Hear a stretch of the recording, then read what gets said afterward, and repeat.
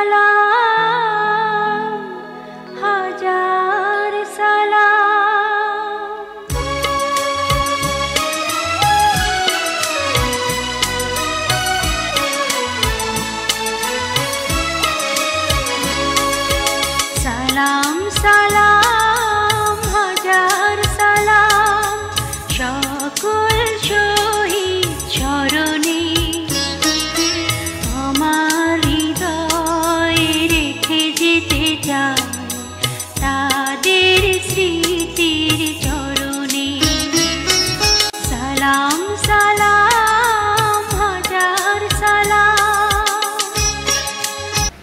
মির্জা শাহজামাল পিতা কিন্তু মির্জা মোহাজ্জম হোসেন, মা গুলজা বানু গ্রাম কেচুয়াহাটা, পোস্ট ভাটিয়ারি জেলা সিরাজগঞ্জ।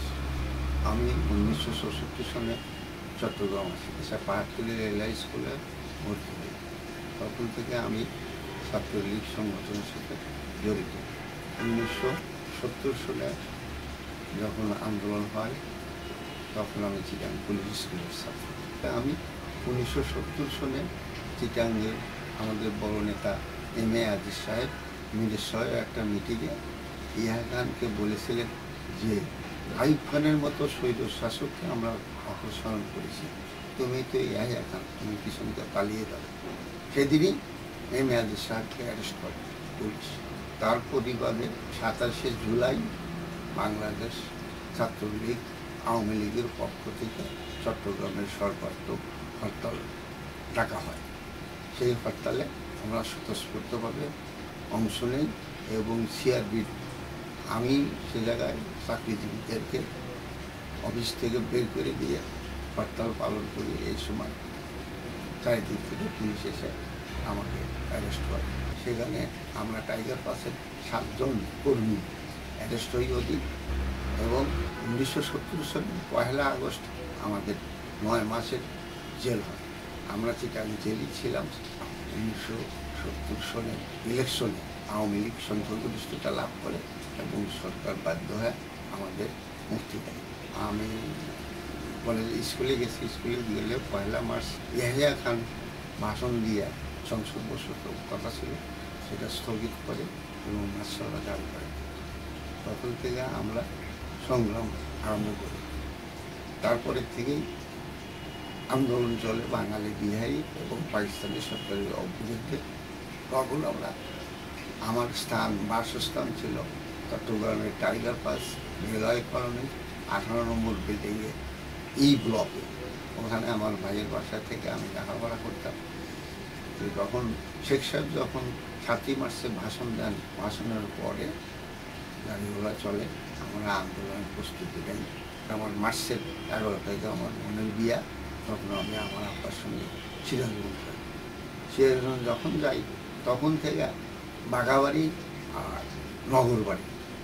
এই বা- বাগাবাড়ির দিকে এবং নগরবাড়ির বাগাবাড়ির দিকে পাকিস্তানি আর্মি এবং নগরবাড়ির দিকে বাংলাদেশ মুক্তি বাহিনী যুদ্ধ হয়।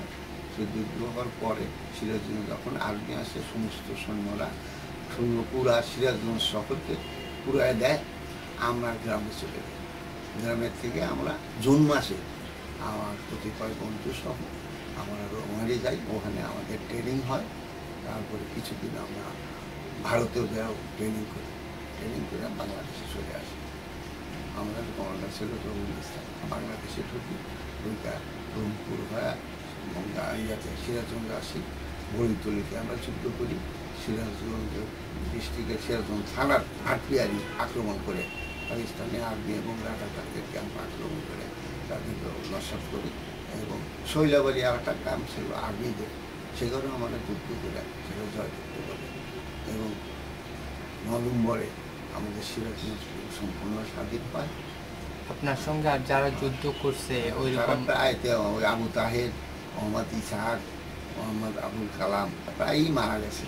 আর বিশেষ করে আমি একটু আমার দেশের লোক কম চিনতাম কারণ চৌষট্টি সনে আমি চিটাং আসি, আমার স্টুডেন্ট লাইফ থাক কাটে চিটাঙে এবং চিটাঙে থাকার জন্য আমি দেশের লোককে অনেক সময়, অনেক লোককেই চিনি না বা অনেকে আমাকে চেনে না। স্বাধীনতার যুদ্ধের আমি সিরাজগঞ্জে ছিল- ছিলাম, তখন আমার আশেপাশে গ্রামের লোক কেউ আমাকে চিনত, কেউ চিনত না।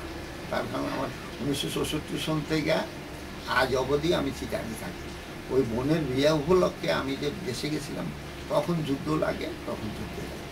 তারপরে যুদ্ধ থেকে এসে আবার আমি চিটানে এসে এখানে কলেজে লেখাপড়া করি। এসে আমি যে স্বপ্ন নিয়ে জেল খাটছি বা যুদ্ধে গেছি, বর্তমান তার সাথে, আমাদের মনের সাথে আর দেশের পরিস্থিতির সাথে অনেক তফাৎ। আমরা সার্বজনীন বাংলাদেশ চাচ্ছিলাম দেশ স্বাধীন হবে, সবারই মূল্য হবে। এখন দলীয় কোরআন হচ্ছে দলের লোকেরা সেই আদর্শ এবং মুক্তিযুদ্ধের যে আদর্শ আর রাজনৈতিক যে আদর্শ সে সেগুলোর থেকে বিচ্যুত হয়েছে। সবাই এখন স্বার্থের জন্য ভালো। তার কারণ আমরা মুক্তিযুদ্ধ করছি। মুক্তিযুদ্ধের জন্য আমরা যে জীবন দিতে প্রস্তুত ছিলাম, কিন্তু বাংলাদেশের বর্তমান যে অবস্থা, আমরা ভোট দিতে পারি না, আমরা ইচ্ছা মতো চলতে পারি না। পুলিশের শাসন, পুলিশের শোষণ, পুলিশের মারধর একটা কিছু করতে গেলে প্রতিবাদ করতে গেলে পুলিশ সঙ্গে হ্যাঁ, এগুলা আমরা সত্যিকার অর্থে চাই সবাই সমমর্যাদা থাকুক সব দলই থাকুক সবারই মর্যাদা থাকুক। কিন্তু এককভাবে কোনো দল রাজত্ব করুক বা তারাই সমস্ত সুযোগ সুবিধা ভোগ করুক এটা আমরা কোনো না। ভবিষ্যতে আমরা সুখী সমৃদ্ধ বাংলাদেশ চাই। সবাই যেন সহমর্মিতার সাথে সবাই যেন বসবাস করে। হিন্দু বৌদ্ধ খ্রিস্টান এর কোনো ভেদাভেদ নেই। আমরা সবাই মিলে দেশকে স্বাধীন করছি। সবাই দেশের মঙ্গল চাই। এটাই আমাদের কাম্য। এটাই আমরা বাস্তবায়ন চাই। তরুণদের উদ্দেশ্যে আপনি কি বলবেন? তরুণদের বলব যে সত্যিটাকে জানো সত্যিটাকে চেনো মানুষকে মানুষের মর্যাদা দিতে শেখো।